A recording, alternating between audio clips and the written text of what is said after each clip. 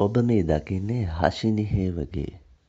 ඇය ශ්‍රී ලංකා මාතාවට තවත් රිදී පදක්කමක් එක් කරපු ක්‍රීඩිකාවක්. මීට දින කිහිපයකට පෙර ආසියානු කාන්තා කායවර්ධන ශූරතාවලිය පැවැත්වුණා. හෂිනියම තරඟාවලියට එකතු වෙන්නේ ශ්‍රී ලංකා මාතාවට කිසියම් හෝ බලාපොරොත්තුවක් එකතු කරමින්. හෂිනි හේවගේ වුමන් ස්පෝර්ට්ස් ප්‍රිස්කිව් වංශයෙන් රිදී පදක්කම දිනාගත්තා. වසර ගණනක් පුරා ඉතා කැපවීමෙන් පුහුණුවීම් කටයුතුවල යෙදෙන හෂිනි ශ්‍රී ලංකා මාතාවට වාගේම ශ්‍රී ලංකා කාන්තාවන්ටත් ආඩම්බරයක්.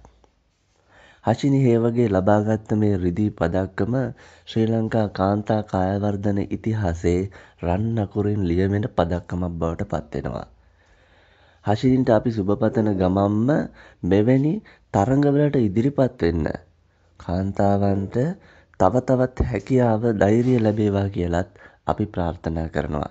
සාමාන්‍යයෙන් පුරුෂ පක්ෂය ඉදිරිපත් වන කායවර්ධන තරඟවලට කාන්තාවන් ඉදිරිපත් වීම අප වැනි රටවල් වලින් දකින්න ලැබෙන්නේ ඊටාම අඩුවෙන්. එවැනි කාලයක හෂිනි ලබාගත්ත මේ රිදී පදක්කම ශ්‍රී ලංකා මාතාවට ඊටාම වැදගත් එකක් වනු ඇති.